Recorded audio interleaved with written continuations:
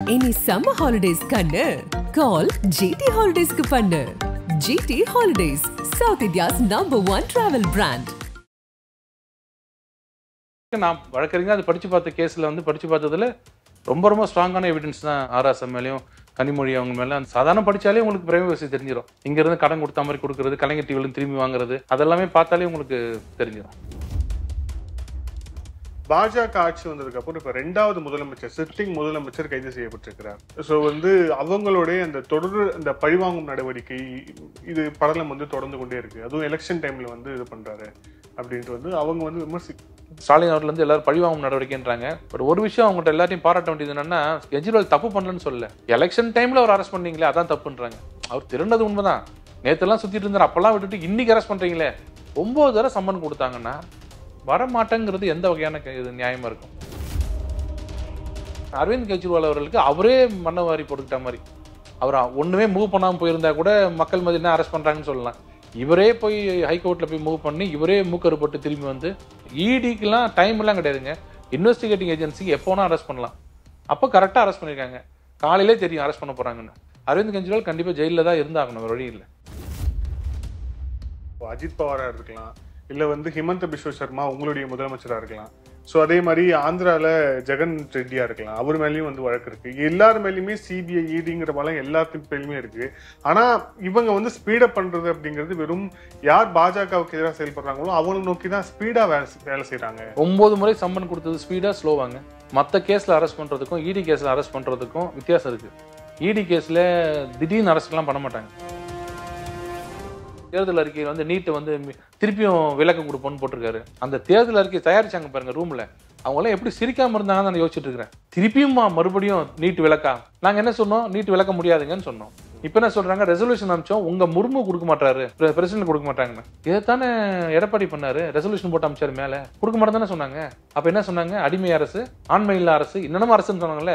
இவரும் அதே ரெசல்யூஷனை போட்டு கொஞ்சம் மசாலாலாம் ஆட் பண்ணி அந்த ரெசல்யூஷன் அமைச்சிருக்காரு வராது திரும்பி. கேட்டால் திரும்பி அதே தப்பு பண்ணுறாங்க ஸோ திமுக சொல்கிறதெல்லாம் போய் தான் ரெண்டாயிரத்தி பத்தொன்பதுலயும் ரெண்டாயிரத்தி இருபத்தொன்னுலையும் அதிமுகவோட இருந்தோம். கூட சேர்ந்ததுனால யார் ஓட்டு எவ்வளோ யாருக்கு போச்சுன்னு தெரியாது. இப்போ வந்து நாங்கள் நிற்கிறது இப்போ எங்களுக்கு தெரியும் எவ்வளோ ஓட்டு எங்கள்கிட்ட இருக்குது நாங்கள் எவ்வளோ வளர்ந்துருக்கோம்னு. இன்னும் கேட்டிங்கன்னா அதிமுகவுக்கு வந்து ஈக்குவலாக வளர்ந்துருக்கோம்னு நாங்கள் சொல்கிறோம் இப்போ பாருங்க அதிமுகவுக்கும் மே- அது ஒரு படி மேலே நாங்க வளர்ந்துருக்கோன்றது தமிழ்நாட்டில் ப்ரூவ் பண்ணுவோம். நிறைய சீட்ல ஜெயிப்போம். மக்கள் மனதுல ஒரு மூன்றாவது முறையாக இதுல அதிமுகவா திமுகலாம் பார்க்கலைங்க. மக்கள் என்ன சொல்றாங்க? மூன்றாவது முறை மோடி அவர்கள் வரணும். இதுல துரைமுருகன் சொன்னதோட முடிக்கலாம் அப்படின்னு. துரைமுருகன் சொல்லியிருக்கிறாரு தேர்தலுக்கு முன்பாக திமுகவுடைய ஒரு செல்வாக்குமிக்க வேட்பாளரை கைது செய்ய பாஜக திட்டம் அப்படின்னு சொல்லியிருக்கிறார். நம்ம ஏதாவது திட்டம் இருக்கா உங்ககிட்ட கண்டிப்பா கைது பண்ணும். தப்பு பண்ணா கைது பண்ணும். அப்ப அவருக்கு தெரிஞ்சிருக்கு. அவர் என்ன கேக்குறாருன்னா நீ அப்பா என் பக்கம் கை காட்டாத அவர் பக்கம் காட்டு அப்படின்னாங்க. ஆனா யாருமே என் பக்கம் என் கை காட்டுற நான் உத்தமனாச்சுன்னு சொல்லல. நான் இல்ல என்ன காட்டாத அவரை காட்டுன்றாங்க. அப்ப அவ்வளவு பேர் தப்பு பண்ணிருக்காங்க. முக்கிய செய்திகள் தேர்தல் அப்டேட்ஸை வந்து குறுஞ்செய்தியில தெரிஞ்சு கொள்ள ஆதன் செயலியை டவுன்லோட் பண்ணுங்க. Link is on description Aadhan Tamil நேயர்களுக்கு அன்பு வணக்கம். இந்த சிறப்பு நேர்காணலில் நம்முடன் இணைந்திருக்கிறார் தமிழக பாஜகவின் செய்தி தொடர்பாளர் வழக்கறிஞர் குமரகுரு அவர்கள். வணக்கம் சார். வணக்கம். இப்ப நேற்றுல இருந்து ஒரு ஒரு பரபரப்பான விவாதம் ஒன்று போயிட்டு இருக்கு இந்த டூ ஜி வழக்கையை ஒட்டி. ஏற்கனவே வந்து அந்த டூ ஜி வழக்கில் அந்த ஓபி ஷைனி தலைமையிலான அந்த நீதிமன்றம் வந்து அவங்கள வந்து விடுவிச்சாங்க. இப்போ வந்து டெல்லி ஹைகோர்ட் வந்து அந்த மேல்முறையீடை வந்து ஏற்றுக்கொண்டது அப்படின்ட்டு செய்தி. இப்போ அந்த ஏற்றுக்கொண்டது அப்படின்னா அந்த வழக்குல அடுத்த கட்டமா எப்படி போகும்? திருப்பி ஹியரிங்ஸ் இருக்குமா? திருப்பி சாட்சியங்கள் விசாரிக்கப்படுமா? அது அந்த வழக்கு எப்படி நகரும்னு நினைக்கிறேன் அதாவது நீங்க ஒரு வழக்குல நீங்க கன்விக்ட் ஆயிட்டீங்கன்னா ஒரு தண்டனை பெற்றுட்டீங்கன்னா இந்த தண்டிக்கப்பட்டவர் இருக்கார் பாருங்க குற்றவாளி. அவருக்கு வந்து அப்பீல்ன்றது right is got right to appeal யாரும் தடுத்து நிறுத்த முடியாது. ரைட் அப்பீல் போட்டாங்கன்னா அப்பீல் அட்மிட் தான் பண்ணி ஆகணும் கோர்ட் அந்த அப்பீலை நான் எடுத்துக்க மாட்டேன்னு சொல்ல முடியாது. கோர்ட் அந்த அட்மிட்டை அட்மிட் பண்ணி தான் அப்பீல் அட்மிட் பண்ணி தான் ஆகணும். அப்புறம் ஒரு ஒரு ஒரு ஒரு வருஷமோ ரெண்டு வருஷமோ அந்த வழக்கு தேக்க நிலையை பார்த்து அந்த கோர்ட் எடுத்து அதில் தீர்ப்பு சொல்லும். அதே விடுதலை ஆயிட்டீங்க வச்சுங்க ஒரு ப்ராசிக்யூஷன்னா அரசு தரப்புல ஒரு கேஸ் போடுறாங்க. நீங்க விடுதலை ஆயிடுறீங்க. எந்த கேஸாக இருந்தாலும். அரசு வந்து அதுக்கு மேலே மேல்முறையீடு போட்டு வச்சுங்க. இட்ஸ் நாட் ரைட் ஏன்னா ஒரு கீழில் ஒரு கோர்ட் ஏற்கனவே நிரபராதின்னு சொல்லிடுச்சு. நீங்க மேலே போகும்போது அந்த கோர்ட்டோட அனுமதி வேணும். அப்பீல் ஃபைல் பண்றதுக்கு. அதான் ஸ்பெஷல் லீவ் பெட்டிஷன்வாங்க ஒரு பெர்மிஷனோட நீங்க அங்க போடணும். அதை நாங்க என்ன பண்ணோம்? சின்ன சின்ன கேஸா இருந்தா போட்ட உடனே அப்படியே எடுப்பாங்க. சும்மா என்னன்னு படிப்பாரு பிரைமரி கேஸ் பார்ப்பாரு எஸ் அட்மிட்னு வரும் லீவ் கிராண்டட்னு வரு லீவ் கிராண்டட்னா அப்புறம் தான் நீங்கள் அப்பீலே போடணும். அப்பீல் வரும்போது அப்பீல் அட்மிட் பண்ணுவாங்க. இதுதான் நார்மல் இது. இந்த கேஸில் அக்யூட்டல்ன்றதுனால இது சென்சிட்டிவான கேஸ்ன்றதுனால ரெண்டாயிரத்தி பதினெட்டுலேருந்து அப்படியே தள்ளிட்டே வந்து ஆர்கியூமெண்ட்லாம் முடிஞ்சு அதை அப்பீலை ஏற்றுக்கணுமா வேணாமான்னு கடுமையான அப்ஜெக்ஷன் அவங்க பக்கம். மகாராஷ்டிரா தரப்புலேருந்து கனிமொழி தரப்புலேருந்து அதை ஒரு ஹைகோர்ட் ஜட்ஜ் ரொம்ப நாளாக கேட்டு நிறைய ஜிஜி நீதிபதிகள் மாறி இப்போ என்ன சொன்னாங்கன்னா ஸ்பெஷல் லீவ் கிராண்டட் பெர்மிஷன் கொடுத்துட்டோம். இப்போ அப்பீல் வந்து நீங்கள் ஃபைல் அப்பீல் வந்திருக்கு பாருங்க. அந்த அப்பீல் அட்மிட் ஆயிடுச்சு. இப்போ என்னன்னா அடுத்தது அந்த அப்பீல் மே மாதம் விசாரிக்கிறேன்னு சொல்லியிருக்காரு. மே மாதம் விசாரிச்சாங்கன்னா மே மாசத்துலேருந்து ஒரு பத்து நாளோ பதினஞ்சு நாளோ தொடர்ந்து ஆர்குமெண்ட் போவோம் அப்புறம் தீர்ப்பு வரும். ஓகே ஸோ மே மாசத்துல இருந்து தான் அந்த வழக்கு வந்து அது ஸோ அவரே போட்டிருக்காரு. போஸ்ட் இந்த மந்த் ஆஃப் மேன்னு போட்டிருக்காரு. ஓகே அதனால மே மாதம் வரும். மே மாதம் வந்த உடனே நீங்கள் அப்படியே நீங்கள் எப்பவும் போல அப்பீல் அப்படியே நீங்கள் எப்பவும் ஆர்கியூ பண்ணுற மாதிரி அப்பீல் ஆர்கியூ பண்ணுவோம். ஸோ ரெண்டு சைட்லயும் ஆர்கியூ பண்ணுவாங்க அதுக்கப்புறம் ஜட்ஜ்மெண்ட் பண்ணுவோம். ஓகே ஸோ இது மே மாசம் மே மே மே மாதத்துக்கு மே மாதம் தள்ளி வச்சிருக்காரு. மே மாதம் வரலாம் இல்லை ஜூன் இது திறந்த உடனே கோர்ட் திறந்த உடனே முதல் கேஸ் அவர் விசாரிக்கலாம். அது அவங்க டிஸ்கிரிப்ஷன் குற்றம் சாட்டப்பட்ட நபர்கள் மீது அந்த போதுமான அளவுக்கு வந்து அந்த சாட்சியம் இல்லை அப்படின்னு தான் அவங்க அவங்க வந்து விடுவிக்கப்பட்டாங்க அப்படின்னு சொல்லும்போது அப்போ இப்போ வந்து அதுல என்ன கூடுதலான டெவலப்மெண்ட் வரும் அப்படின்னு நினைக்கிறீங்க? கவர்மெண்ட் மாறினாலும் ஏஜென்சி ஒண்ணுதான் இன்வெஸ்டிகேஷன் ஒண்ணுதான்ல அப்படிதானே பொன்முடி கேஸ்ல அக்யூட்டல் வாங்கினாங்க. இந்த கேஸ்ல ஒண்ணுமே இல்லை. இந்த கேஸ் ஏன் போட்டீங்கன்னு அந்த நீதிபதி அக்யூட்டல் பண்ணாரு. அதுதானே ஜெயச்சந்திரன் அவர்கள் நீதியரசர் வந்து இப்போ கன்விக்ட் பண்ணாரு. அதுதானே சுப்ரீம் கோர்ட்ல போய் இப்போ திரும்பி வந்திருக்கு. அப்போ ஒரு கோர்ட் வந்து நிரபராதின்னு சொன்னதையே நம்ம வேதவாக்க எடுத்துக்க முடியாது. பல காரணங்கள் இருக்கலாம். அந்த நீதிபதிக்கு அந்த சட்டம் அவ்வளோ புரியாம இருந்திருக்கலாம். வேறு பல காரணங்கள் இருக்கலாம். அதனால அது அப்பீல் போகும்போது அப்பீல ரிவர்ஸ் ஆகிறதுக்கு வாய்ப்பு உண்டு. அதே மாதிரி தான் ஜெயலலிதாவோட கன்விக்ஷன் பார்த்தீங்கன்னா கன்விக்ஷன் மேலே போய் அக்யூட்டல் ஆயிடுச்சு. குமாரசாமி அவர்கள். ஸோ கன்விக்ஷன் அக்யூட்டல் ஆகும் அக்யூட்டல் கன்விக்ஷன் ஆகும் எது ஒன்றும் ஆகலாம். அது வந்து அந்தந்த நீதிபதிகள் பார்வையை பொறுத்து அதனால இதுவும் வந்து அக்யூட்டல் ஆனதுனாலே இது இது இதுதான் தீர்வுன்னு கிடையாது. ஹைகோர்ட் இருக்கு. ஹைகோர்ட்டுக்கு அப்புறம் சுப்ரீம் கோர்ட் இருக்கு. எனக்கு அது? நான் எங்களை பொறுத்த வரைக்கும் நான் வழக்கறிஞர் அது படிச்சு பார்த்த கேஸ்ல வந்து படிச்சு பார்த்ததுல ரொம்ப ரொம்ப ஸ்ட்ராங்கான எவிடன்ஸ் தான் இவங்க மேல இருக்கு. ஆராசம் மேலேயும் கனிமொழி அவங்க மேல அந்த இவர் பால்வா அவர் மேலேயும் அதை கொஞ்சம் சாதாரண படிச்சாலே உங்களுக்கு பிரைவசி தெரிஞ்சிடும் இங்க இருந்து கடன் கொடுத்த மாதிரி கொடுக்கறது கலைஞர் டிவில இருந்து திரும்பி வாங்குறது அதெல்லாமே பார்த்தாலே உங்களுக்கு தெரிஞ்சிடும் ஆனா ராசாவுடைய அந்த அவருடைய அந்த வழக்குல அவர் அந்த வழக்கு சம்பந்தமா விடுவிச்சதுக்கு அப்புறம் அவர் பேசின பேச்சுகளும் சரி அப்புறம் அவர் எழுதின புத்தகங்களையும் சரி இது வந்து ஒரு வினோத் ராய் அப்படிங்கிற ஒரு முன்னாள் சிஏஜியோடைய ஒரு கான்ஸ்பிரசி. இந்த கான்ஸ்பிரசியில அவருக்கு இமேஜினபிளா இருக்கக்கூடிய ஒரு லட்சத்தி எழுபத்தாயிரம் கோடின்னு சொல்லிட்டு அவர் ஒரு நம்பர்ஸை போட்டாரு ஆனா அந்த நம்பரை வந்து சாட்சியங்கள் அடிப்படையில வந்து நிரூபிக்கிறதால சிபிஐ எல்லாம் முடியல. அதனால நாங்க விடுவிக்கப்பட்டோம். This is a conspiracy against the DMK and Congress government அப்படிங்கிறார். சிஏஜி ரிப்போர்ட்டை பத்தியே நமக்கு அதுல போடல. அதுல சிபிஐ கொடுத்த சார்ஜ் ஷீட்ல சிஏஜி ரிப்போர்ட்ல கொடுத்துருக்காங்க. அதனால இது வந்து குற்றம் நிரூபணமாகணும்னு சொல்லல. குற்றம் நிரூபணமானதுக்கு ஏகப்பட்ட காரணங்கள். அதுதான் சுப்ரீம் கோர்ட் முதல்ல என்ன சொன்னாங்கன்னா சிஏஜி ரிப்போர்ட் வச்சு சொல்லல. அதனால தான் இன்னைக்கு டிஎம்கே காங்கிரஸ் என்ன பண்றாங்கன்னா ஏழரை லட்சம் கோடி ஊழல் ஊழல் ஊழல்னு தெருமுனையில கத்திக்கிட்டு இருக்காங்க தவிர யாருமே சுப்ரீம் கோர்ட் போறது ஏன்னா சுப்ரீம் கோர்ட் எந்த கோர்ட்டுமே சிஏஜி ரிப்போர்ட்டை பார்க்காது. சிஏஜி ரிப்போர்ட்ல லாஸ் தான் காமிப்பாங்க இது லாஸ் ஆயிருக்குங்கன்னு. அதுல கிரிமினாலிட்டி மென்ஸ் மென்ஸ்ரியா இருக்கான்னு பார்ப்பாங்க. அதுல தீய எண்ணம் இருக்கிறதா பாக்குறது தான் ப்ராசிக்யூஷன் வேலை. இவர் ஒரு தெரியாம ஒரு அதிகாரி பண்ண தவறுனால ஒரு லாஸ் ஆச்சு வச்சுங்களேன். ஒரு ஒரு ஆடிட் ஆடிட் என்ன ஃபோம் என்ன சொல்லணும்? இந்த இடத்துல இந்த லாஸ் ஆயிடுச்சு.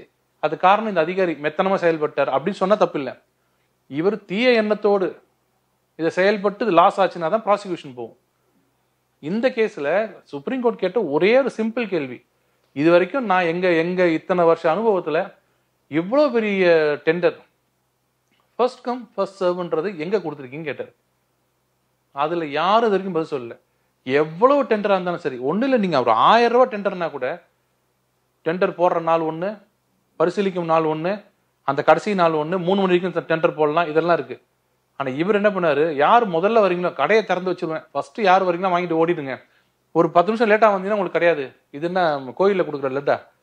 லேட்டா வந்தா இல்லைங்க இப்ப முடிஞ்சு போச்சுன்னு சொல்றதுக்கு. இது வந்து டெண்டர் அது ஒண்ணு போதும் ஆராசா பண்றது தப்புன்னு சுப்ரீம் கோர்ட் சொல்லுச்சு. அதெல்லாம் இல்ல பிரேமபிசி கேஸ் இருக்கு. அதனாலதான் உள்ள ஜெயில இருந்தாங்க இத்தனை நாளா. அவங்க ரொம்ப நாளா உள்ள இருந்தாங்க. திஹார் ஜெயில அந்த ஆஸ்பெக்ட் எல்லாம் இவர் பார்க்கல. சிபிஐ அந்த இவர் வந்து நம்ம தண்டனை கொடுத்த நீதிபதி வந்து இதை பார்க்கல. ஷைனி வந்து இதை கண்டிப்பா பார்த்துருக்கணும். அவர் பார்க்கல. அதனால அது அந்த ஒரு கேஸ் எடுத்துக்கிறது பிரேமபிசி கேஸ் கரெக்ட் தான் சொல்லிட்டாங்க. ஸோ இப்போ இந்த மேல்முறையீடு வழக்கு ஒரு பக்கம். இன்னொரு பக்கம் அந்த இன்வெஸ்டிகேஷன் எப்படி போச்சு அப்படிங்கறதுலயே வந்து நிறைய கேள்வி. குறிப்பா உங்க மாநிலத்தில் நம்ம ஏற்கனவே பேசியிருக்கிறோம் உங்க மாநிலத்தில் தொடர்ச்சியா அந்த ஆடியோக்கள் எல்லாம் வெளியிட்டு இருந்தார் அப்போ சிபிஐ உடைய டைரக்டர் அந்த அந்த ஏபி சிங் நினைக்கிறேன். ஸோ அவர் அவர் வந்து எப்படி வந்து இந்த அந்த செபட்டாஜ் அப்படிங்கிற அந்த ஒரு ஆங்கிளும் இதுல இருந்துச்சு. இப்ப அந்த ஆங்கிள் வந்து இப்ப இந்த மேல்முறையீடு வர வழக்குல வந்து கருத்து கொள்ள கருத்தில் எடுத்துக்கொள்ளப்படுமா இந்த டேம்பரிங் ஆஃப் எவிடன்ஸ் நிறைய விஷயங்கள் சொல்றாங்க. சோ அந்த அந்த சைடு அப்படிங்கிறதுக்கான வாய்ப்பு இதுல இருக்கா? இதுல? இல்ல அடிஷனல் எவிடன்ஸ் வந்து அப்பீல்லையும் எடுக்கலாம். ஜட்ஜ் முடிவு பண்ணாங்கன்னா எனக்கு இந்த எனக்கு சில சில சில ஆங்கிள் எனக்கு இன்னும் அடிஷனல் எவிடன்ஸ் வேணும்.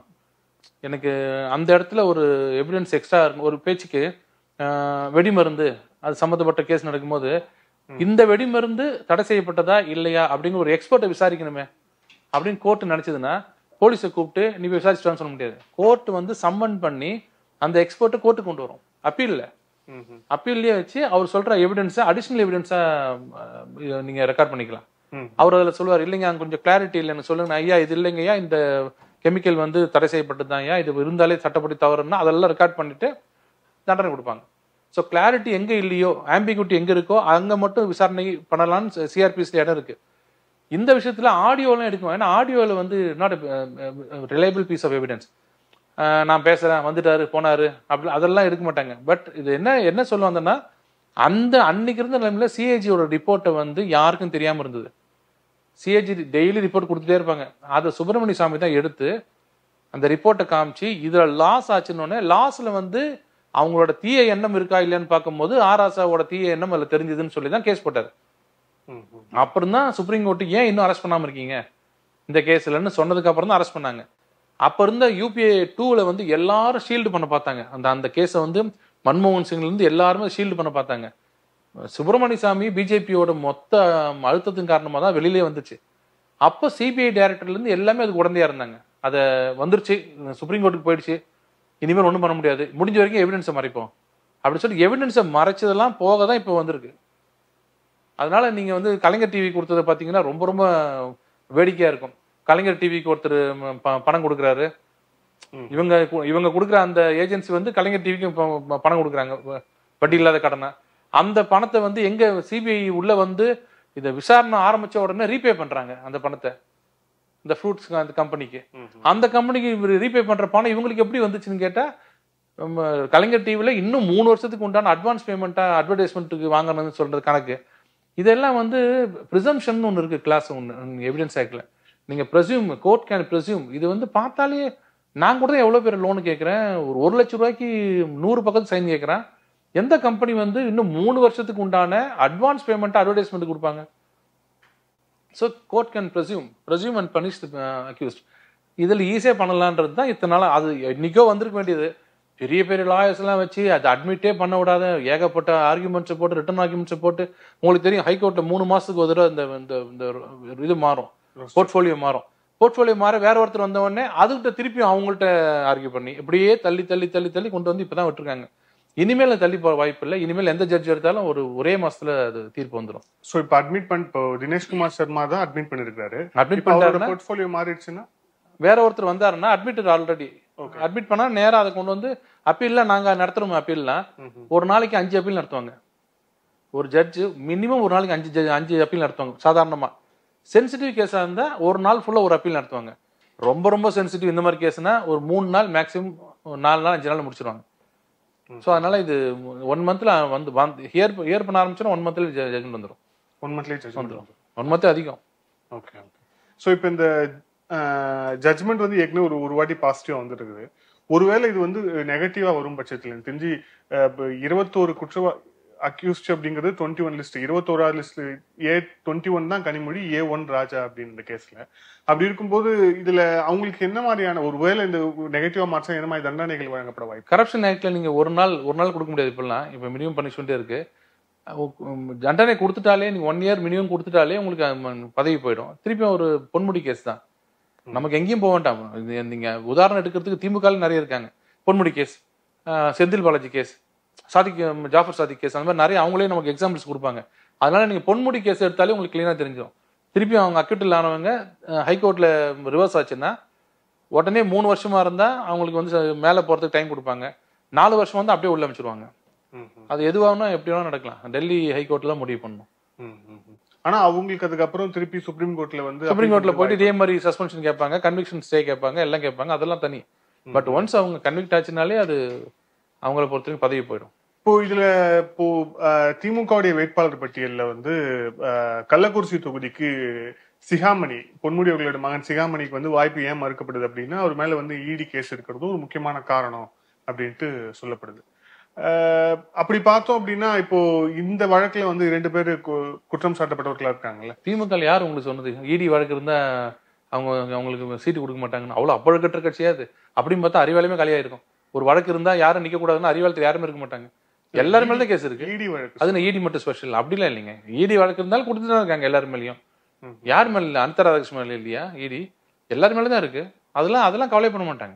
செந்தில் பாலாஜி ஈடி அரெஸ்ட் பண்ணதுக்கு அப்புறம் கிட்டத்தட்ட ஆறு மாசம் இது இது வச்சிருந்தாரு. அமைச்சர் வச்சிருந்தாருல்ல. ஸோ திமுகல போயிட்டு இந்த மாதிரி குற்றம் சாட்டப்பட்டவங்க ஈடி கேஸ் இருக்கிறதுனால அதுல எங்களுக்கு தெரிஞ்ச தகவல் என்னன்னா பொன்முடி எப்படியும் ஜெயிலுக்கு போயிடுவார் இந்த அப்பீல்ல அப்புறம் அவங்க ஃபேமிலிக்கு ஒன்று கொடுக்கணுன்றதுனால டுவெண்ட்டி சிக்ஸில் அவர் வந்து எம்எல்ஏ ஆக்கி இல்லை பொன்முடி அங்கே நான் இப்போ- any time appeal maybe taken up for hearing இங்கில் supreme கோர்ட்டில் டக்குன்னு சுப்ரீம் கோர்ட்டில் ஒரு ஒரு மூணு மாசத்துல எடுத்து இதை கன்ஃபார்ம் பண்ணிட்டாங்கன்னா அவர் பதவி போயிடும். அங்கே இடைத்தேர்தல் வரும்? அப்போ இந்த இவரை அங்கே நிற்க வச்சு மந்திரி ஆக்கலாம். எதுக்கு நீ எம்பிலாம் நின்றுட்டு எப்படி அங்கே ஆட்சி வர போறது இல்ல அங்க நீ எம்பியா சும்மா சுத்துறதுக்கு ஒரு மந்திரியா இருந்துக்கன்னு சொன்ன மாதிரி எங்களுக்கு தகவல் அது. ஒன்றும் கன்ஃபார்ம் நியூஸ் இல்லை.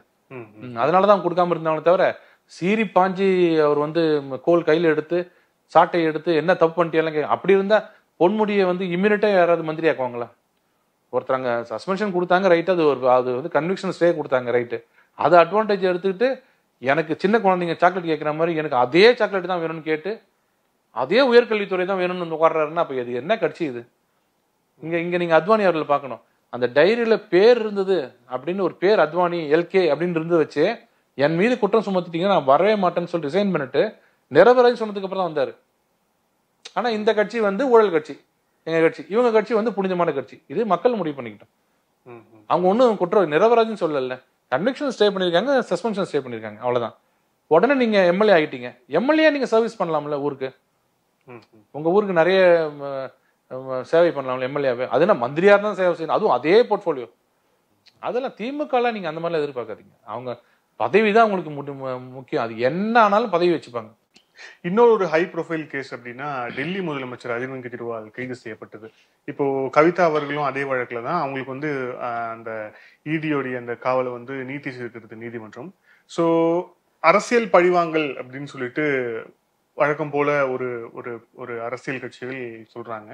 ஆனா இதை தாண்டி ஆஹ், அதுவே இந்த மணி சிசோடியா கிட்டத்தட்ட ஒரு ஒரு வருஷம் ஒன்றரை வருஷத்துக்கு முன்னாடி கைது செய்யப்படுறார்.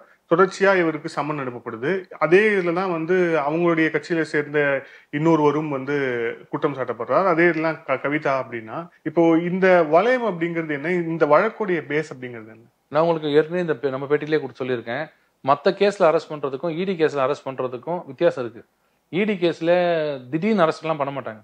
ஏன்னா அரெஸ்ட் பண்ணிட்டு திரும்பி வெளியில வர்றது ரொம்ப ரொம்ப கஷ்டம். ட்வின் கண்டிஷன் சொல்லியிருக்கேன். அந்த ட்வின் கண்டிஷன் சாட்டிஸ்ஃபை பண்ணி வெளில இது வரைக்கும் வரல. கோர்ட்டு தலையிட்டு சார்ஜ் ஷீட்டை ஃபைல் பண்ணி ட்ரையல் பண்ணி அக்விட்டல் பண்ணால் ஓகே பட் அந்த மாதிரி ஒரு ஸ்ட்ரிஞ்சன்ட்டான ஒரு லா இருக்கும்போது சர்வசாதாரணம் அரெஸ்ட் பண்ண முடியாது. இப்போ போலீஸ் ஒரு நைட்டில் போகிறீங்க சந்தேக கேஸ்னு உள்ளே போனோன்னா ஸ்டேஷன்லேயே பெயில் விட்டுருவாங்க. எவ்வளோ சீக்கிரம் பெயில் விடுறாங்களோ அவ்வளோ சீக்கிரம் உங்களை அரெஸ்ட் பண்ணுவாங்க. எவ்வளோ கஷ்டப்பட்டு பெயில் வாங்கணுமோ அவ்வளோ லாங் ரோப் கொடுத்து அவங்களை அரெஸ்ட் பண்ணுவாங்க.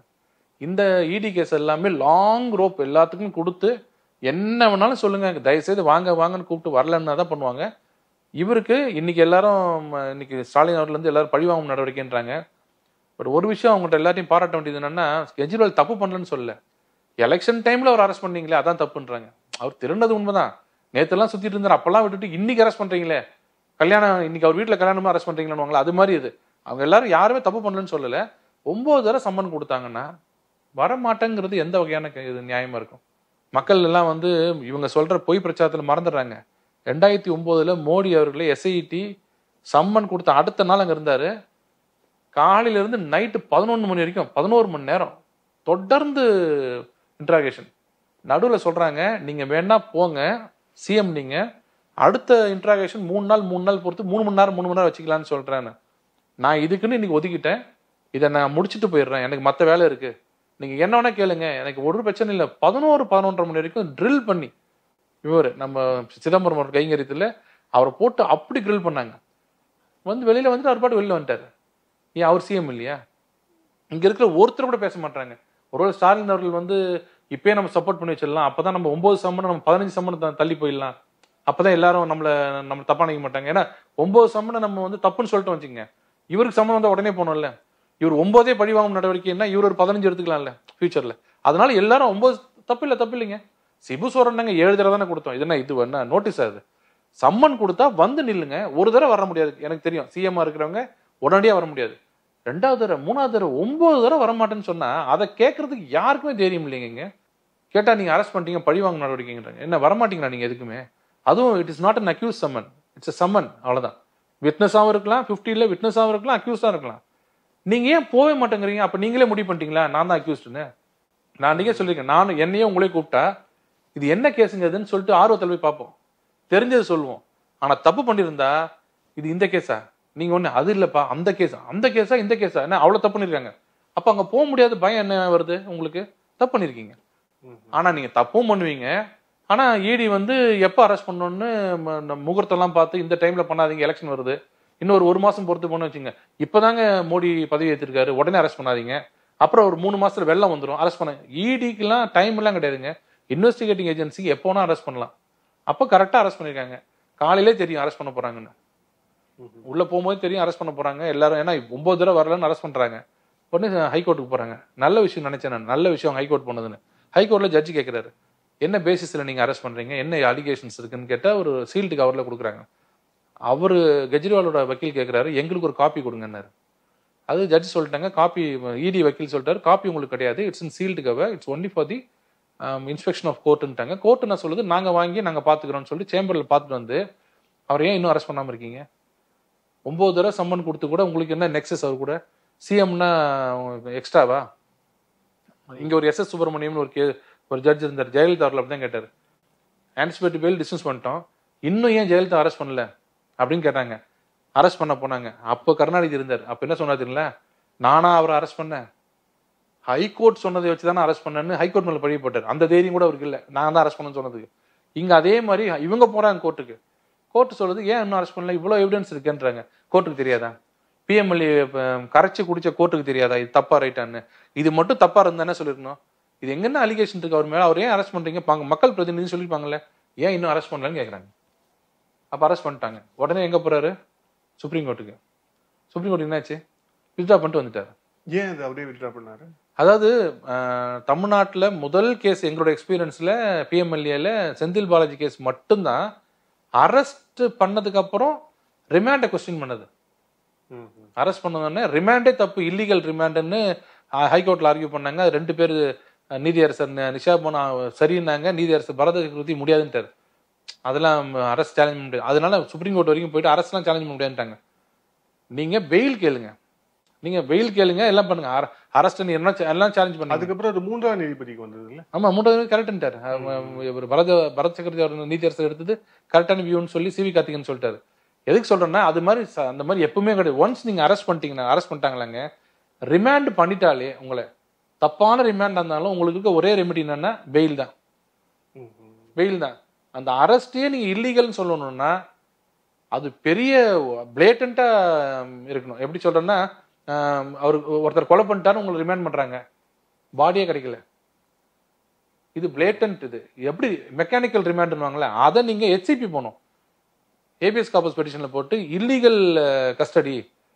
அப்ப ஜட்ஜி கேட்பாங்க என்னங்க கொலைக்காரன்றீங்க? கொலை பேர் கொலை கொலை செய்யப்பட்ட நபர் யாருன்னே கொடுக்கலீங்க? அப்படின்னு கேட்டா மறந்துட்டேங்கன்னு சொன்னாங்க இது எப்படி ரிமாண்ட் பண்ண. அப்படின்னு சொல்லுவாங்கல்ல. திருடு திருடுனா அந்த அந்த திருடப்பட்ட பொருளை காமிக்கணும். இவர் திருடிட்டாருங்க. நகையை கொண்டு வந்து இந்த கடையில வச்சாரு. இந்த கடையை நாங்க எடுத்துட்டோம். இது இதாங்க நகை. அப்படின்னு சொன்னதுக்கு அப்புறம் தான் ரிமாண்ட் பண்ணுவாங்க. இவர் திருடினாருங்கன்னு மொட்டையா சொன்ன அது மாதிரி மெக்கானிக்கல் ரிமாண்ட்னா நீ கொஸ்டின் பண்ணலாம். இது மாதிரி ஒரு கேஸ்ல ரிமாண்ட் எப்படி கொஸ்டின் பண்ணுவீங்க? அப்படின்னு நேற்று கேட்டாங்க. நான் வித்ரா பண்ணிட்டு நான் இதுல லோயர் கோர்ட்ல போய் நான் சேலஞ்ச் பண்ணிக்கிறோம். அப்படின்னு அவங்க எடுத்துட்டு வந்துட்டாங்க. எதுக்கு சொல்றேன்னா இந்த மாதிரி விஷயம் அதுதான் ஸ்ட்ராட்டஜி லோவர் கோர்ட்ல போய் நம்ம ஸ்ட்ராட்டஜி இல்லைங்க. இவங்க என்ன நினைச்சாங்கன்னா அரஸ்டே ஏன் பண்ணீங்கன்னு கேட்பாங்க சுப்ரீம் கோர்ட் நினைச்சாங்க. அதெல்லாம் கிடையாது. நீங்க எதுக்கு இங்க வந்தீங்க? இல்லீகல் ரிமாண்ட்னா அங்க போங்க. ரிமாண்ட் நீ சேலஞ்ச் பண்ணுங்க. ஹைகோர்ட்டை சேலஞ்ச் பண்ணுங்க. ஹைகோர்ட்ல ரிமாண்டை சேலஞ்ச் பண்ணணும் ஹெச்சிபி தாங்க சேலஞ்ச் பண்ணணும் ரிமாண்டே தப்புன்னா அங்க சேலஞ்ச் பண்ணணும் இல்ல பெயில் போடணும். பெயில் போடணும்னா செஷன்ஸ் போகணும் ரிமாண்ட் சேலஞ்ச் பண்ணி ஹெச்சிபி போகணும் ஹைகோர்ட் போகணும். எதையாவது அங்க இங்க எதுக்கு வந்தீங்க? அப்படின்னு உடனே தப்பாயிடும் சொல்லிட்டு வித்ரா பண்ணிட்டு தப்பா கமெண்ட் அடிச்சிட்டு போறாங்கன்னு சொல்லிட்டு வாங்கிட்டு வந்துட்டாங்க. அப்ப இப்போ வழக்கம் போல இப்போ செந்தில் பாலாஜி இங்க அள்ளி கிட்ட பண்ண மாதிரி அதே மாதிரி இப்ப இல்லீகல். இல்ல அங்க திமுக வழக்கறிஞர் மாதிரி இருக்க மாட்டாங்க நினைக்கிறேன். அவங்க கொஞ்சம் நல்ல வழக்கறிஞரா பெயில் போடுவாங்கன்னு நினைக்கிறேன் டைரக்டா பெயில் போட்டு பெயில் எடுக்கலாம் அப்படின்னு. ஏன்னா இல்லீகல் ரிமாண்ட்லாம் போனீங்க வச்சுங்க தேவையில்லாம சிக்கல்ல. ப்ராப்பர் ரிமாண்ட் இதோட என்ன ரிமாண்ட் வேணும்னு கேட்டாங்கன்னா?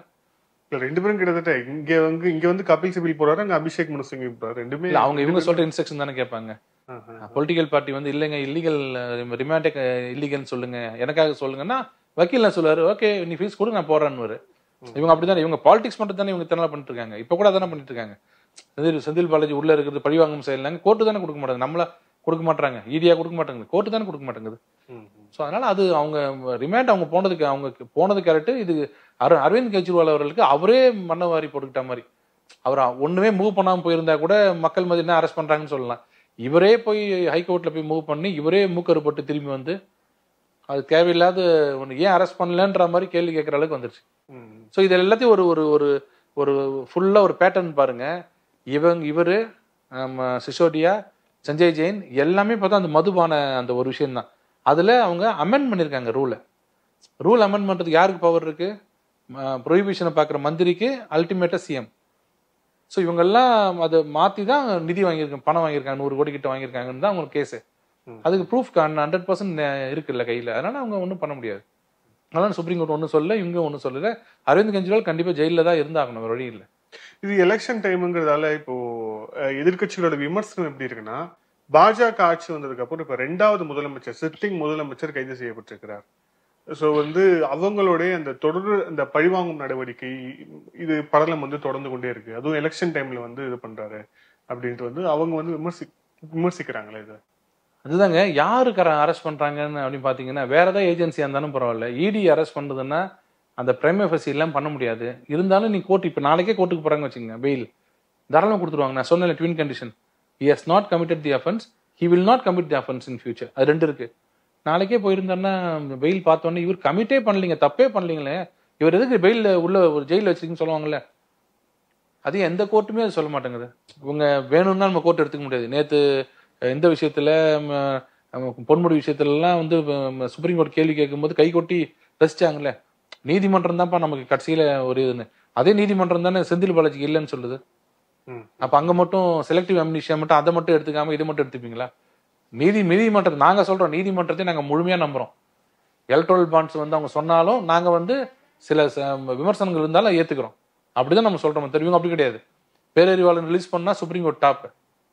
ரஃபேலில் வந்து சுப்ரீம் கோர்ட் வந்து ஒரு முகாந்திரம் இல்லைன்னு சொல்லிட்டா சுப்ரீம் கோர்ட் விலைக்கு வாங்கிட்டாங்கன்னு இவங்க பேசுறதுலாம் இப்போ பொன்முடிக்கு வரும்போது சாட்டை ஏடினுவாங்க இது கெஜ்ரிவாலுக்கு சொல்லும் போது இல்லை இல்லைங்க supreme court full control central கவர்மெண்ட்டுங்க அப்படின்னுவாங்க. திமுக எப்படி வேணா பேசுவாங்க. அவங்களுக்குலாம் இல்லை. ஆனால் ரெண்டாவது சிஎம்ன்றது என்னை பொறுத்த வரைக்கும் தனிப்பட்ட முறையில் மிகுந்த வருத்தம் அளிக்குது. ஏன்னா எப்பேற்பட்ட நாடு இந்த நாடு இப்படியே போயிட்டு இருந்துச்சுன்னா எத்தனை சிஎம் உள்ள இருக்க போறாங்க? எத்தனை சிஎம் உள்ள இருக்க போறாங்க யாருக்கு தெரியும்? யாரும் தப்பு பண்ணலன்னு சொல்லல. நீங்க எங்க சொல்லணும்னா ஒரு போராட்டத்துக்கு நடந்து போறாரு. மக்கள் போராட்டத்துக்கு ஒரு சிஎம் போறாரு. அங்க திடீர்னு வந்து ஒரு சிபிஐயோ என்ஐயோ வந்து வேணுட்டு அரெஸ்ட் பண்றாங்க. பொய் வழக்கு போடுறாங்கன்னா அது ஆமாங்க பொய் வழக்கு போடுறாங்கன்னு. இது எல்லாமே போன் பை ரெக்கார்ட்ஸுங்க ரெக்கார்ட்ஸ் நீங்க ஒண்ணுமே பண்ண முடியாது. இல்ல அவங்க தரப்புல சொல்லும்போது இதே ரெக்கார்ட்ஸ் வந்து நிறைய நபர்கள் பாஜக தொடர்புடைய நபர்களுக்கு இருக்குல்ல. இப்போ எக்ஸாம்பிளுக்கு வந்து நம்ம அஜித் பவாரா இருக்கலாம் இல்ல வந்து ஹிமந்த பிஸ்வ சர்மா உங்களுடைய முதலமைச்சரா இருக்கலாம். சோ அதே மாதிரி ஆந்திரால ஜெகன் ரெட்டியா இருக்கலாம். அவர் மேலயும் வந்து வழக்கு இருக்கு. எல்லார் மேலயுமே சிபிஐ இடிங்கிற e பலம் எல்லாத்துக்கு மேலயுமே இருக்கு. ஆனா இவங்க வந்து ஸ்பீடப் பண்றது அப்படிங்கிறது வெறும் யார் பாஜகவுக்கு எதிராக செயல்படுறாங்களோ அவங்களை நோக்கி தான் ஸ்பீடா வேலை வேலை செய்யறாங்க ஒன்பது முறை சம்மன் கொடுத்தது ஸ்பீடா ஸ்லோவாங்க உங்கள்கிட்ட பிரேம மெட்டீரியல் உங்கள்கிட்ட இருக்கு. தேவையே இல்லை. யாரும் கேட்க வேண்டியதே இல்லை. மெட்டீரியல் உங்கள்கிட்ட இருந்தா சம்மன் பண்ண வேண்டியதே இல்லைங்க. Summon is not a mandatory one summon பண்ணி தான் ஒருத்தன் அரெஸ்ட் பண்ணணும் கிடையாது. இடி விஷயம் வருது கையில. முகாந்திரம் இருக்கு. ஸ்ட்ரைட்டா அவங்க வீட்டுக்கு போகலாம் அவர் வீட்டுக்கு. அவர் இருப்பார். அவர் உட்கார வச்சுட்டு சார் கொஞ்சம் இன்ட்ராகேட் பண்ண உங்களை. பத்து நிமிஷம் பார்த்துட்டு அரெஸ்ட் பண்ணுங்கன்னு சொல்லலாம். எதுக்கு சம்மன் கொடுத்து வரவழைச்சு உங்களை பேசி அதெல்லாம் தேவையில்லை. ஏன்னா இவர் சிஎம்ன்றதுனால அவசரப்பட்டு நம்ம அரெஸ்ட் பண்ணக்கூடாது. நீங்க சொன்ன அதே பதில் தான் லே ஒரு ஒரு இதுவாக கொடுப்போம். மீன்வைல் இந்த நைன் சம்மன்ஸ் கொடுக்குற மீ இந்த மீன்வைல் என்னாச்சுன்னா ஏகப்பட்ட இது மெட்டீரியல்ஸ் கலெக்ட் பண்ணுறாங்க ஏகப்பட்டது கலெக்ட் பண்ணுறாங்க அந்த மெட்டீரியல்லாம் சேர்த்து வச்சு தான் சார் இவ்வளோ மெட்டீரியல் இருக்குது என்ன சொல்கிறீங்கன்னு கேட்கும்போது அவரால் பதில் சொல்ல முடியாது. பதில் சொல்ல முடியாமல் இருந்தாலோ தவறான பதில் சொன்னாலோ அரெஸ்ட் பண்றாங்க அப்படிதான் எல்லா இடத்துலையுமே. இப்போ கூட எல்லாரும் கிண்டலாக பண்ணுறாங்க என்ன இப்போ போய் ரைடு போகிறீங்க செந்தில் பாலாஜி வீட்டுக்கு? இப்போ போய் விஜயபாஸ்கர் வீட்டுக்கு போகிறீங்க அப்படிலாம் சொல்றாங்க. இன்வெஸ்டிகேஷன் முடியிற வரைக்கும் எனி டைம் எதை வேணாலும் அவங்க பண்ணலாம். திடீர்னு ஒன்று ப்ராம்ப்ட் ஆகும். சார் இந்த மாதிரி அங்கே ஒரு இது இருக்காங்க சார் இந்த மாதிரி இருக்காங்க. அப்போ அந்த இடத்துல சீனை ஒன்று தடவை பார்த்துட்டு வருவோம் போய். அங்க போய் பார்ப்பாங்க திருப்பியும். ஏன் எத்தனை தடவை போறீங்க? இவங்க வீட்டுக்கு எதுக்கு எத்தனை போறீங்கன்னு கேட்க முடியாது. அவங்களோட டிஸ்கஷன் அது. அது எல்லாமே அஹ், நீங்க அஹ், எதிர்க்கட்சிகள் மேல மட்டும் ஏன் போடுறீங்க? ஆளுங்கட்சி மேல போட்டுக்க மாட்டீங்களா? அதெல்லாம் தான் நீங்க கேக்குறீங்க. ம். நீங்க தமிழ்நாட்டுல ஒரு இது எடுங்க சென்சஸ் எடுங்க. நாளைக்கு நீங்க ம- பொதுமக்கள் கூட எடுக்கலாம் டிவிஎஸ்சி விஜிலன்ஸ் அண்ட் ஆன்டி கரப்ஷன் இருக்குல்ல? லஞ்ச ஒழிப்புத்துறை. எத்தனை டிஎம்கே ஆளுங்க மேல போட்டிருக்குன்னு பார்க்க சொல்லுங்க. தமிழ்நாடு முழுக்க எத்தனை சேர்மன் முனிசிபல் சேர்மன் எத்தனை மேயர் இல்ல அவங்க செஞ்ச- நம்மளும் செஞ்சிருவோமா? அப்படி இல்லைங்க. அப்படி சொல்லக்கூடாது. வராது. ஏன்னா அவங்க ஆட்சியில் இருக்கும்போது யாருமே அவங்க மேல கம்ப்ளைண்ட் கொடுக்க மாட்டாங்க. இப்போ ஒரு மேயர் தப்பு பண்றாரு. விஜிலன்ஸ் யார்கிட்ட இருக்கு? சிஎம்கிட்ட இருக்கு. அந்த மேயர் மேல ஒரு ஆளு எதிர்க்கட்சியோ ஆளுங்கட்சியோ கம்ப்ளைண்ட் கொடுத்தா அந்த கம்ப்ளைண்ட் எங்க போகும்? ஆக்ஷன் எடுப்பாங்களா? எடுக்க மாட்டாங்க. கம்ப்ளைண்டே கொடுக்க மாட்டான். எப்ப இ- வீண் வம்பு எதுக்கு உனக்கு? அந்த மேயர் வேற பவர்ஃபுல்லா இருக்காரு. அந்த போது மேல போகுது அந்த லெட்டர் சினிமால வர மாதிரி உனக்கே திரும்பி வரும். நைட் வந்து உனக்கு கேட்பாங்க என்ன லெட்டர் அமிச்சாமே இதை பத்தி அவங்க லெட்டர் அப்படின்னு கேட்பாங்க சினிமாவில் வர மாதிரியே. அது மாதிரி இருக்கும் ஏன் பண்றேன்னு சொல்லுவாங்க. அதனால யாரும் கம்ப்ளைண்ட் கொடுக்க மாட்டாங்க. எதிர்க்கட்சியா இருந்தாங்கன்னா தேடி தேடி கொண்டு வந்து கம்ப்ளைண்ட் கொடுப்பாங்க. இப்ப நாளைக்கு இப்ப- ஏடிஎம்கே மேல எல்லாரும் கம்ப்ளைண்ட் கொடுப்பாங்க. பயம் இல்ல. நாளைக்கு டிஎம்கே பவர் விட்டு போச்சு வச்சுங்களேன் தோண்ட தோண்ட உங்களுக்கு கிடைக்கும். அவ்வளவு பெட்டிஷன்ஸ் மொட்டை பெட்டிஷனா வரும். கம்ப்ளைண்ட்ஸா அந்த கம்ப்ளைண்ட் விசாரிக்க உண்மையா இருந்ததுன்னா அதை வச்சு நம்ம இது பண்ணணும். நான் சொன்னது நீங்க தப்பா புரிஞ்சுட்டீங்க. நாங்க எடுக்க மாட்டோம் ஆக்ஷன் எடுக்க மாட்டோம் இல்ல. ஆளுங்கட்சி எடுக்காதுன்னு சொல்லல. ஆளுங்கட்சி மேல எவனும் புகார் கொடுக்க மாட்டான். அதே மாதிரி உங்களுக்கு ஏற்கனவே புகார் இருந்ததுன்னா உங்கள்ட்ட. நீங்க சொன்ன மாதிரி அஜித் பவார் மாதிரிலாம் இருந்ததுன்னா மிகப்பெரிய வழக்கறிஞர்களா இருக்காங்களா உங்களுக்கு. நீங்க நேரா சுப்பிரமணிய சாமி இருக்காருல்ல அவர் எல்லாரும் என்ன சொல்றீங்க? அவர் வக்கீல இல்லை அவர் சரியில்லை அப்படிலாம் சொல்றீங்களா? அவர் தானே கொண்டு வந்தார் இதை. அதே மாதிரி உங்கள்கிட்ட எவ்வளோ வக்கீல் இருக்காங்களே?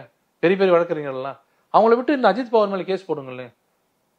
எந்த ஈடியுமே சார்ஜ் ஷீட் அப்படி மாற்றிலாம் போட முடியாது. ஏன்னா இடிலாம் வந்து எல்லாமே ரெக்கார்ட்ஸ் நான் சொல்லியிருக்கேன்ல. இங்கே வாங்கின பணத்தை இங்கே நான் வீடு வாங்கியிருந்தேன்னா அது வீடு ரெக்கார்ட் இருக்கும். யாராலையும் மாற்ற முடியாது. இது நான் திருட்டு கேஸ் அந்த நகையை எடுத்து வேற ஒரு நகையை வச்சு காப்பாத்துறதுக்கு முடியாது. அப்போ நீங்கள் கோர்ட்டுக்கு போகலாமே அந்த மாதிரி உங்களுக்கு சந்தேகம் இருந்தால் கோர்ட்டுக்கு போகலாமே என்னங்க அஜித் பவர் ஏங்க விட்டீங்க? பிஜேபிக்கு சேர்ந்தா மட்டும் விட்டுருவீங்களா? அப்படின்னு கேட்கலாம்ல. இப்ப கூட செந்தில் பாலாஜி யார் அரெஸ்ட் பண்ணது? அவர் மந்திரி தானே. இப்ப நீங்க ம, கேளுங்க டிஎம்கே கேட்க சொல்லுங்க. எப்படி அரெஸ்ட் பண்ணீங்க கோர்ட் இருக்கு இல்லைங்க உங்களுக்கு எல்லாமே. அதையும் பண்ண மாட்டீங்க.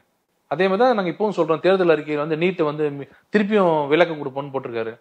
அந்த தேர்தல் அறிக்கை தயாரிச்சாங்க பாருங்க ரூம்ல அவங்க எல்லாம் எப்படி சிரிக்காம இருந்தாங்கன்னு நான் யோசிச்சுட்டு இருக்கிறேன். எப்படி சிரிச்சிருப்பாங்கல்ல விழுந்து விழுந்து திருப்பியுமா மறுபடியும் நீட் விளக்கா? அப்படின்னு. நீட் விளக்குன்னு திருப்பி கொடுக்குறாங்க. ம், ம். நாங்க என்ன சொன்னோம்? நீட் விளக்க முடியாதுங்கன்னு சொன்னோம். இப்ப என்ன சொல்றாங்க? ரெசல்யூஷன் அமிச்சோம் உங்க முர்மு கொடுக்க மாட்டாரு. பிரசிடென்ட் கொடுக்க மாட்டாங்கன்னு. இதைத்தானே எடப்பாடி பண்ணாரு? ரெசல்யூஷன் போட்டு அமிச்சாரு மேல. கொடுக்க மாட்டேன் தானே சொன்னாங்க. அப்ப என்ன சொன்னாங்க? அடிமை அரசு கூன் விழுந்த அரசு ஆண்மை இல்ல அரசு என்னென்னமோ அரசுன்னு சொன்னாங்கல்ல. இவரும் அதே ரெசல்யூஷனை போட்டு கொஞ்சம் மசாலாலாம் ஆட் பண்ணி அந்த ரெசல்யூஷன் அமைச்சிருக்காரு வராது திரும்பி. கேட்டா திருப்பி அதே தப்பு பண்றாங்க. சோ திமுக சொல்றத நீங்க அஹ், இதுவா எடுத்துக்காதீங்கன்னு. அவங்க சொல்றதெல்லாம் பொய் தான்.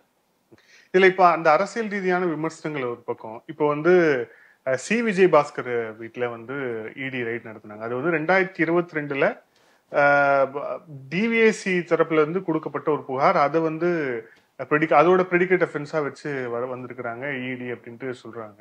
ஸோ இருபத்தி அது வந்து இப்போ அது வந்து அரசியல் ரீதியாக வந்து திமுக அரசு பழிவாங்கும் நடவடிக்கை நோ- அதிமுகவோட முன்னாள் அமைச்சர்கள் மீது ஒரு வழக்கு போடுச்சுன்னா இப்ப அந்த வழக்கு முகாந்திரமா வச்சுதான் இடி வருது அப்படின்னா அப்ப இடி சந்தேகிப்பாங்கல்ல?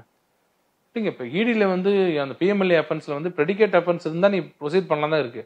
ப்ரெடிகேட் அஃபென்ஸ் ஃபைல்டு பற்றி opposite party ruling party your own party அதெல்லாம் எதுவுமே இல்லை. அங்கே ஒரு அங்கே ஒரு அஃபென்ஸ் இருந்தால் அந்த அஃபென்ஸ் ஷெட்யூல் அஃபென்ஸில் வந்ததுன்னா அதை நீ வாழா பிடிச்சிக்கிட்டு அப்படியே நீங்கள் வரலாம் தான் சட்டம். அது திமுக போட்ட ப்ரெடிகேட் அஃபென்ஸ் ஏடிஎம்கே போட்ட ப்ரெடிகேட் அஃபென்ஸ் பிஎம்எல்ஏல இல்லை. அதனால அவங்க யார் எங்கே போட்டாலும் அதை வச்சு அவங்க தொடர்ந்து தான் போயிட்டு இருப்பாங்க. இன்னொன்று நீங்கள் நீங்கள் சொன்ன அதே வார்த்தை திருப்பி சொல்கிறேன் ஈடிக்கும் ஒரு பயம் இருக்கும். நீங்கள் சொல்கிற மாதிரி ஒருத்தர் பொய் வழக்கு போடுறதுக்கும் பொய் வழக்கு போட்டால் கூட அந்த அந்த நபர் நாளைக்கு கோர்ட்டுக்கு போவார். அப்போ கோர்ட்டில் நீ மூணு வருஷம் பொறுத்து ஏன் திடீர்னு போய் ரைடு பண்ணீங்க? அப்போ உங்கள் மேலே சந்தேகம் வருதா? மெட்டீரியல் காமி. நேற்று கொடுத்தாங்களே சீல்டு கவரில் கெஜ்ரிவால் எடுத்து. அதே மாதிரி நாளைக்கு விஜயபாஸ்கர் போனாருன்னா சீல்டு கவரில் கேட்பாங்கல்ல எதுக்கு நீங்கள் போனீங்க நேற்று நேற்று ஏன் ஹராஸ் பண்ணீங்கன்னு கேட்பாங்கல்ல. அப்போ கொடுக்குற மெட்டீரியல் பார்த்து அவங்க பயப்படுவாங்க. இடி ஆஃபீஸர்ஸ் பயப்படுவாங்களே அதனால டபுள் ஹெச் வெப்பனுங்க அது ரெண்டு பக்கமும் இருக்கு. எப்படி எவ்வளவுக்கு எவ்வளவு ப்ராசிக்யூஷன் சைடில் இன்வெஸ்டிகேஷன் இன்வெஸ்டிகேட்டிங் ஏஜென்சி எவ்வளவு பவர்ஃபுல்லா ஒரு பக்கம் இருக்குதோ அதே மாதிரி டபுள் ஹெச் அந்த பக்கம் இன்னொரு வெப்பன் இருக்கு. தப்பா போனாலும் மாட்டுவாங்க. அது இவங்கெல்லாம் சாதாரண ஆளுங்க கிடையாது. எல்லாருமே பெரிய பெரிய பாலிட்டிஷியன்ஸ் எல்லாம். அவங்கள மீறி ஏதாவது தப்பு பண்ணி நாளைக்கு கோர்ட்ல வந்தோன்னா கோர்ட்ல திருப்பி திட்டு வாங்குவாங்கல்ல. எனக்கு தெரிஞ்சு நிறைய கேஸ் நான் இருக்கும்போது நிறைய கேஸ்ல வந்து யாரை கேட்டு சம்மன் கொடுத்தீங்க? உங்களுக்கு என்ன வேணும்னு இப்போ கலெக்டர் கேஸ்ல கூட கேட்டாங்க. ஞாபகம் இருக்குங்களா? அந்த அஞ்சு கலெக்டர் போகும்போது யாரை கேட்டு கலெக்டர்லாம் நோட்டீஸ் கொடுக்குறீங்கன்னு ஸோ அந்த பயம் அந்த குற்ற ஸ்டேஜ் யாருன்னா ஜ- நீதிமன்றம் தான். அந்த நீதிமன்றத்து மேலும் பயம் எல்லாருக்குமே இருக்கும். அக்யூஸ்டுக்கு எவ்வளோ இருக்கோ அதே அளவுக்கு ப்ராசிக்யூஷன் சைட்லையும் இருக்கும். அதனால இஷ்டத்துக்கு நீங்கள் நினச்ச மாதிரிலாம் உள்ளே போயிட்டு ரைடு பண்ணுறது நம்ம கூட்டணி இல்லையா ரைடு பண்ணுறோமா கூட்ட அதெல்லாம் அந்த கமெண்ட் எல்லாம் வந்து சும்மா சொல்லலாமே தவிர இடி மாதிரி ஏஜென்சிலாம் அந்த மாதிரி பண்ண முடியாது.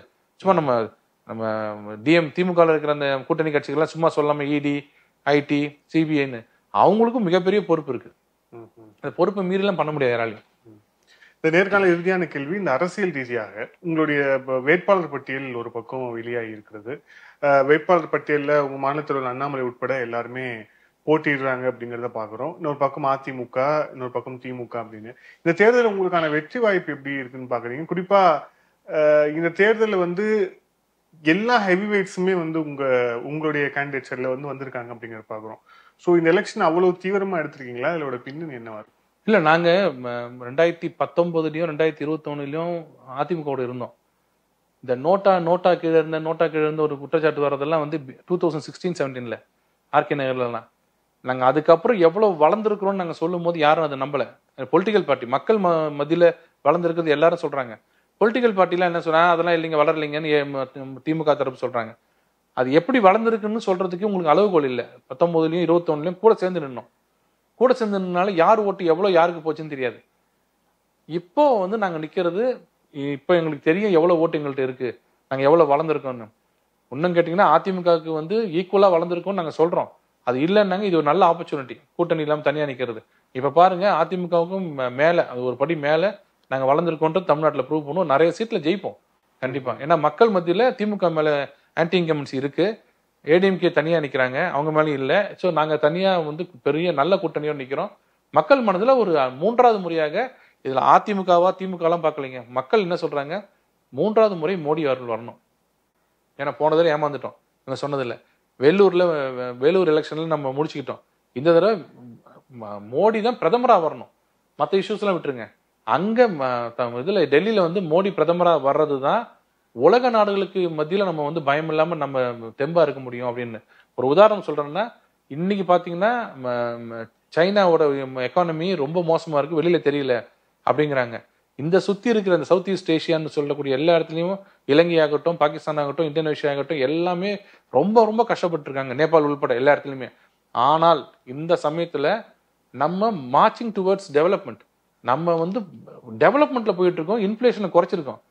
இவ்வளவு நடந்து சுத்தி இவ்வளவு நடக்கும்போது இந்த இந்தியாவை மட்டும் இவ்வளவு பெரிய கண்ட்ரியை நூத்தி நாற்பது கோடி மக்கள் இருக்கிற கண்ட்ரில சாப்பாடு பிரச்சனை இல்லாம எந்த பஞ்சமும் இல்லாம டெவலப்மெண்ட்ல போறாங்க பாருங்க. சஸ்டெயின் ஆகுறது வேறங்க. நம்ம அப்படியே இருக்கிறது ஒரு பெரிய விஷயம். சாப்பாட்டுக்கு சாப்பிட்டுட்டு வீட்டுல அப்படியே இருக்கிறது. நீங்க டெவலப் ஆகிட்டு போறீங்க பாருங்க. அது எவ்வளவு பெரிய கஷ்டன்றது நமக்கு இங்க இருக்கிறவங்களுக்கு தெரியாது. உலக நாடுகளுக்கு தெரியும். இந்த கண்ட்ரி எப்படி இருந்த கண்ட்ரி இந்த பத்து வருஷத்துல இவர் ஒருத்தர் வந்து கொரோனாவை இது பண்ணிட்டாரு வேக்சின் கொடுத்துட்டாரு. நாங்களாம் அதுலேருந்து வெளியில் வர்றதுக்குள்ளே இவர் எக்கானமிலையும் ஃபிஃப்த்து வந்துட்டாரு. இன்னும் பயங்கரமாக போயிட்டு இருக்காரு அப்படின்னு இந்தியாவை பார்த்து எல்லாரும் மிரள்ற போது நம்ம நாட்டு மக்கள் அதை யோசிக்கிறாங்க. ஏன்னா இப்போ எல்லாருக்கும் தெரியும் கேட்ஜெட்ஸ் கையில் இருக்கு.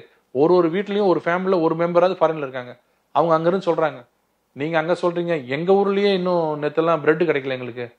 நேற்று இந்த ஸ்டோரை மூட்டு யூரோப்லேயே சொல்கிறேன் ஸ்டோரை மூடிட்டு போயிட்டாங்க.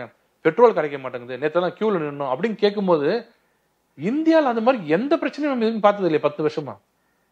ஒரு பெட்ரோல் நீங்க பாத்திருக்கீங்களா பெட்ரோல் ஸ்கேசிட்டி எங்காவது பாத்திருக்கீங்களா ரோட்ல பெட்ரோல் பெட்ரோல் விலை வேற. பெட்ரோல் உங்களுக்கு எப்பவும் கிடைக்கும் டீசல் எப்பவும் கிடைக்கும் பல நாடுகள்ல கிடைக்கல. அதெல்லாம் பார்த்துட்டு இன்னொரு முறை கட்சியெல்லாம் விட்டுருங்க. பிஜேபி அதெல்லாம் திமுக அதிமுக மோடிங்கிற ஒரு மனிதர் மூன்றாவது முறையாக இந்தியாவுக்கு பிரதமரா வர்றது இந்திய மக்களுக்கு நல்லது. அவருக்கு இல்ல. அவர் எப்பவும் போல சொல்றதா ஒரு இந்த டீ தான். பிளாக் டீ லெமன் டீ குடிச்சு அவர் போயிட்டு இருப்பாரு. அவருக்கு ஒரு பைசா லாபம் இல்லை அதனால. அவரை விட்டுட்டா இந்திய மக்களுக்கு தான் லாஸ் இந்தியாவுக்கு லாஸ் இப்போ நான் எவ்வளோ கோடி சம்பாதிச்சிருந்தாலும் நீங்க எவ்வளோ கோடி சம்பாதிச்சிருந்தாலுங்க ஸ்ரீலங்கால ஒரு நாள் வாசலில் வந்து நின்றுட்டு எல்லாரும் ஓன் அழுகுறாங்க. ஒரு பிரெட் இல்லைன்னு. கேட்டால் அவன் பல கோடிக்கு அதிபதி. ஒரு நாட்டோட எக்கானமி வந்து ஸ்லாஷ் டவுன் ஆச்சுன்னா நீங்க எத்தனை ஆயிரம் கோடி வச்சிருந்தாலும் சரி ரோட்ல நானும் நிற்கணும் நீங்களும் நிற்கணும் பக்கத்தில் அம்பானி நிற்பாரு பணம் இல்லை யார்ட்டையுமே ஸோ நாடு நல்லா இருந்தால் தான் வீடு நல்லா இருக்க முடியும். நம்ம நல்லா இருக்கு நாம தெம்பா நான் யார் தெரியுமா? பெரிய பணக்காரன்னு தெம்பா சுத்துறதுக்கு காரணமே நாடுங்கிற ஒரு சோறு இருந்தா தான் இந்த நாடு காப்பாற்றக்கூடிய ஒரு நல்ல மனிதராக மோடி இருக்காருன்னு தமிழ்நாடு முழுக்க எல்லாருமே புரிஞ்சுட்டாங்க. இது வந்து ஃபுல்லாக பொய் பிரச்சாரம்.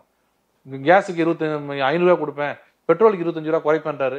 சின்ன நேத்து சாதாரண ஒரு பையன் கேட்குறான் இருபத்தஞ்சு ரூபா குறைக்கிறாரு வேட் இவர் தானே வச்சிருக்காரு. நாளைக்கால குறைச்சிடலாமே? இப்போ அவங்க சொல்றது என்னன்னா இருபத்தஞ்சு ரூபா குறைச்சா கவர்மெண்ட்டுக்கு லாஸ் ஆகும்னு தெரியும் இல்லைங்க. இப்போ இருபத்தஞ்சு ரூபா குறைக்கிறாங்க நாளைக்கு. நாளைக்கு காங்கிரஸே வருது. பேச்சுக்கு. நடுநிலை ஜோக் அடிக்க நினைக்காதீங்க. சீரியஸாக வருது வச்சுங்க இருபத்தஞ்சு ரூபா குறைக்கிறாங்க வச்சுங்க யாருக்கு லாஸ் அது? ராகுல் காந்திக்கா. கவர்மெண்ட் தான் லாஸு அப்போ நீ என்ன சொல்றீங்க? கவர்மெண்ட் லாஸ் ஆனாலும் பரவாயில்ல நான் குறைப்பேன்றீங்களே அதையே நான் திருப்பி சொல்றேன். தமிழ்நாடு கவர்மெண்ட்டுக்கு லாஸ் ஆனாலும் பரவாயில்ல. இருபத்தஞ்சு ரூபா குறைங்க நாளைக்கு. அது எப்படிங்க? இருபத்தஞ்சு ரூபா குறைச்சா கவர்மெண்ட்டுக்கு லாஸ் ஆகி நாங்கள் பணத்துக்கு எங்கே போவோம் நீங்கள் சொல்வீங்க. அதே அவர் மோடி அவர்கள் சொன்னால் தப்பு. ஆனா ரொம்ப பெருமையா இருக்கு. மோடி அவர்கள் ஆட்சியில மட்டும்தான் அவர் டாக்ஸ் போட்டு பணம் எடுத்துட்டு போனா கூட ஊழல்ன்றாங்க. பிஎம் கேர்ல எங்க தெரியுமா? எல்லாம் ஊழல். பிஎம் கேர்ல கொண்டு போய் பணத்தை வச்சிருக்காரு முப்பத்தாயிரம் கோடி. அது ஊழலாம் ஜிஎஸ்டியில் எவ்வளோ ஊழல் தெரியுமா மோடி? எல்லாம் எடுத்துகிட்டு போயிடுறாங்க ரொம்ப பெருமையாக இருக்கு எனக்கு. மோடி வந்து தனிப்பட்ட முறையில் எல்லாம் இல்லை. கவர்மெண்ட்டுக்கு பணம் சேர்த்தாலே ஊழல்ன்றாங்க. அப்போ அவ்வளோ நம்புறாங்க அவரை. வேற எந்த குற்றச்சாட்டும் இல்லை அவர் மேலே. இதையா சொல்லிப்போம் அப்படின்னு. இவர் குறைக்கலாம்ல பத்து ரூபா குறைக்கலாம் இல்லைங்க நாளைக்கு வேட்டில் நம்ம எப்படியும் ஆட்சி வரப்போறது ராகுல் காந்தி வரப்போறாரு. அள்ளி அள்ளி கொடுக்க போறாரு இந்தியாவில். அப்ப நம்ம அன்னைக்கு வாங்கிக்கலாம் திருப்பி இப்போ ஒரு லட்சம் கோடி அன்னைக்கு கேட்டா கொடுத்துருவாரு. ஒரு பத்து ரூபா குறைக்க சொல்லுங்க பார்க்கலாம். இன்னைக்கு தள்ளாடிடும் தமிழ்நாடு. தமிழ்நாடு இன்னைக்கு சம்பளம் கொடுக்க வழி இல்லாம இருக்காங்க. அது எதுக்கு சொல்றேன்னா இதெல்லாம் பார்த்துட்டு இந்த மாதிரி பொய் வாக்குறுதி எதுவுமே மோடி கொடுக்கல. பண்ணியிருக்காரு. ஒரு ஒரு வீட்டுக்கும் ஒன்று ஒன்று பண்ணியிருக்காரு. தண்ணி வருது. ஒரு வீட்டுல வந்து ஆயுஷ்மான் பாரத் அஞ்சு லட்ச ரூபா வாங்குறாங்க. எல்லாரும் பயன்படு பெனிஃபிஷரின்றது ஒரு ஒரு வீட்டில் இருக்காங்க. ஒரு வீட்டுக்குள்ளே போனீங்கன்னா ஆமாப்பா நான் போய் ஹாஸ்பிட்டலில் படுத்தேன் ஒரு லட்ச ரூபா ஆச்சு நல்ல வேளை அந்த காடை காமிச்சு வெளில வந்துட்டேன். ஒருத்தாம இந்த தண்ணி கூட அவர் தான் போட்டு கொடுத்துருப்பா எலக்ட்ரிசிட்டி வந்து ஃப்ரீயாக கொடுத்தாங்கப்பா. இந்த வீடு வந்து ஒன்றரை லட்சம் கொடுத்தாங்க அது மாதிரி ஒரு ஒரு விஷயத்துலையும் சிலிண்டர் மானியத்தை நேரடியாக அப்ரோச் ஆயிருக்காரு. வீட்டுக்கு போயிருக்காரு மோடி. அதனால சொல்கிற மக்கள் ஒவ்வொருத்தரும் இந்த தடவை அவர் வரணும் அப்படிங்கிறது நான் சொல்றது திமுக அதிமுகவில் இருக்கிறவங்க கூட. மற்றதெல்லாம் அப்புறம் நம்ம சண்டை அப்புறம் பார்த்துக்கலாம்.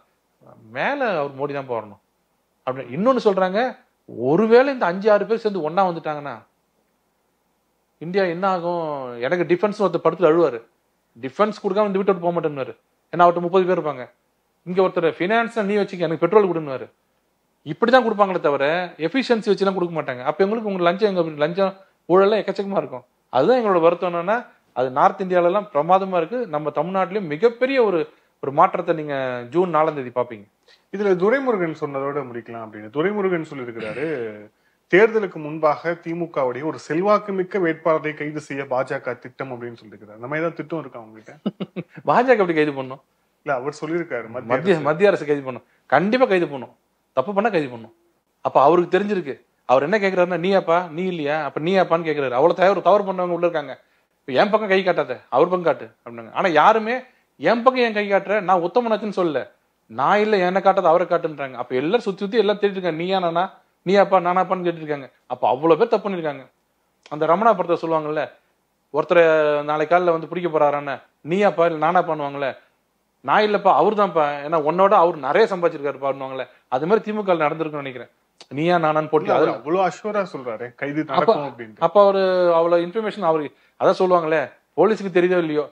குற்றம் செஞ்சவங்க தெரியுங்களே குற்றம் செஞ்சவங்க தெரியும் இல்லைங்க ஒருத்தர் திருடிட்டு வந்துருவான் வச்சுங்க என்னப்பா போலீஸ் நம்மளை பிடிக்க போறாங்களா? நாளைக்கு வருவாங்களா? நாளைக்கு போலீஸ் அவங்க பாட்டுக்கு ஜாலியா இருப்பாங்க. இவர் கேட்டே இருப்பார்ல வரப்போறாங்களா வரப்போறாங்களா அது மாதிரி அவர் இன்வைட் பண்றாரு என்னமோ. வா வா என்னதான் நான் இருக்குமா அவர் இருக்குமான்னு. தப்பு பண்ணிருந்தா யாரா இருந்தாலும் அரெஸ்ட் பண்ணி தான் ஆவாங்க. அது எலெக்ஷன் டைம் எலெக்ஷன் முந்தின டைம்லாம் கிடையாது. இன்வெஸ்டிகேட்டிவ் ஏஜென்சிக்கு எந்த விதமான ஹாலிடே பீரியடும் கிடையாது. எனி டைம் அவங்க அரெஸ்ட் பண்ணலாம் இன்வெஸ்டிகேஷன் பண்ணலாம். நன்றி சார் பல கேள்வி தேங்க்யூ சார் தேங்க்யூ சார் வணக்கம்.